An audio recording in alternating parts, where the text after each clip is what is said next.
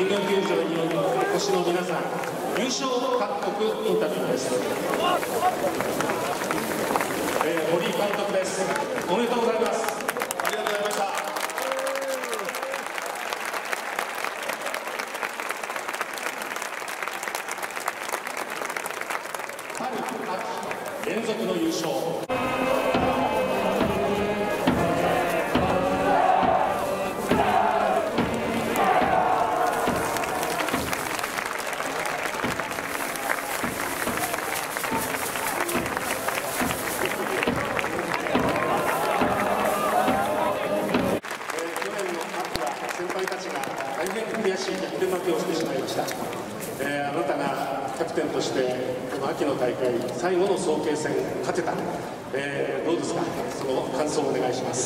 えー去年、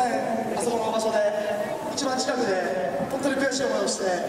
でそこから本当に、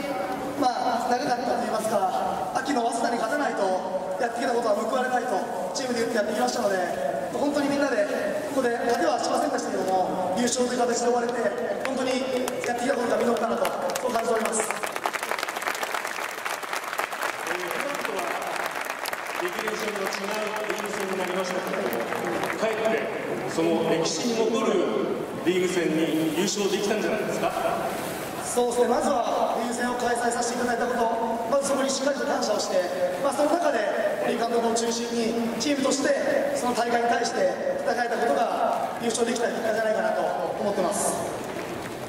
えー本当におめでとうございま